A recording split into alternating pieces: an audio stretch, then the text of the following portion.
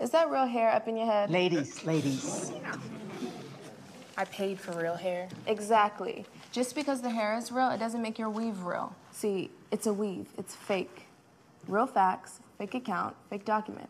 There is something missing from the female characters of Burning Sands, all four of them. While I wouldn't necessarily expect a black fraternity movie to pass the Bechdel, the first woman we see is in literal service to the main characters, and the next two are in states of post and mid coitus. The post one being Roshan, Zurich's girlfriend that he borrows money from. She expresses concern about what he's going through, but perhaps because of his deflecting, doesn't end up saying anything worthwhile. She has a friend that doesn't like Zurich, and they break up when she finds out something that'll be easier to explain later. Alfre Woodard is here, cosplaying as one of Zurich's professors, often appealing to his conscience, questioning him about his focus and such. Serayah is here, playing Angel, a sorority sister and classmate to Zurich, who does nothing more than dance on him. In the movie, these three are actually more interesting than I make them out to be, and if nothing else, at least they're played by some talented people. They end up offering bits and pieces of perspective to the plot that just ends up going nowhere. Alfre and Roshan are both in Zurich's corner, trying to show him that he is bigger than the abuse he is suffering suffering, while Angel is just there to let Zurich know that he isn't cut out for it, or at least that's the vibe I got until they danced, at which point I don't think we even see or hear from her again. Hey, it's time to clear. This ain't for no GDIs. No, who you calling the GDI? That's what you are, right?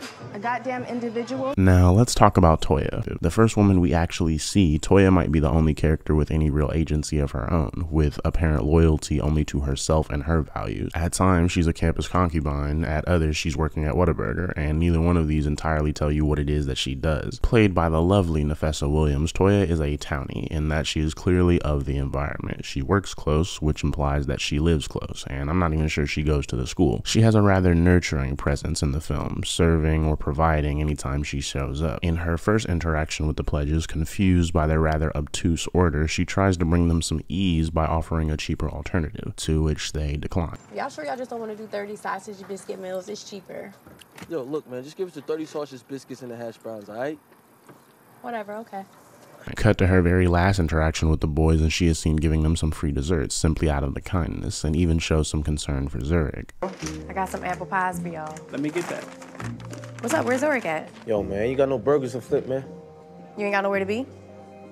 There's also something to Frank being the one who rejects Toya, considering how he ends up. Her relationship with Edwin helps connect the world of Burning Sands as it is a lot more complicated than it seems and appears to progress off screen. They're in a physical relationship, but something about this party meant that Toya couldn't be let in, which doesn't stop her from sleeping with him and the entire line of pledges minus Zurich later on. It's here where we get the most and the best of Toya, find out some more about her character, and touch on an aspect of the story that is left completely cold after this moment. During a regular torture session, Toya comes over and sleeps with Edwin, after which Edwin tells the pledges that they're next up, which apparently was the point all along, as we find out that this is just another rite of passage. Zurich's up first, and once in, Toya decides to take it easy on him because of his rib injury, and then they get to talking. Took you long enough.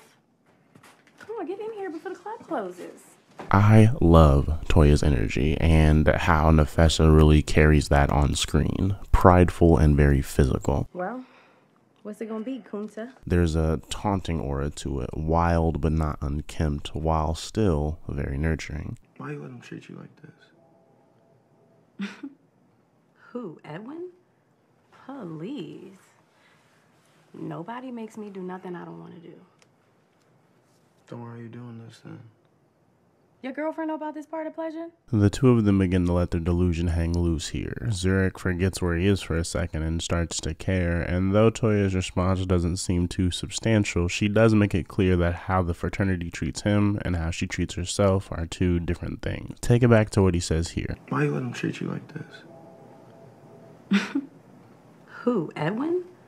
Please. Nobody makes me do nothing I don't want to do. Then why are you doing this then?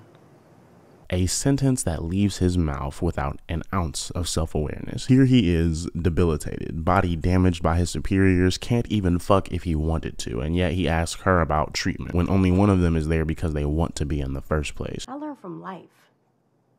I'm gonna write me a book one day. I'm glad that the story allowed space for us to hear about Toya's dreams, if only for a little bit. She's angelic to the boys, offering care and cooter to soothe the reality that they won't ever be the same after this. Rashawn would overhear Toya and her friend in regard to sleeping with the pledges, and even when given the opportunity, Toya doesn't go low at all, offering little opposition or issue, really, even though that doesn't stop Roshan from ending it. Also, I lied, we totally do see Angel one more time in the classroom.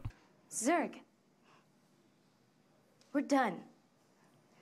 The women in Burning Sands represent necessary distractions for Zurich. If only Hughes or Rashawn could have pulled his attention away from the fraternity long enough to make a choice. If only Angel's weird standoffish behavior meant anything at all. I say that Toya offers the perspective because at no point does she try to steer Zurich or the boys away from this, because she can't, and it's really not any of her business. The path that these pledges were on was set, and the best anyone could do is be there for them to soften the blow. The best character in Burning Sands is certainly Rotimi, because he's the only one who gives a damn or at least acts like it, but my favorite is Toya. And the only reason I even stomached this nonsense for as long as I did was because of her.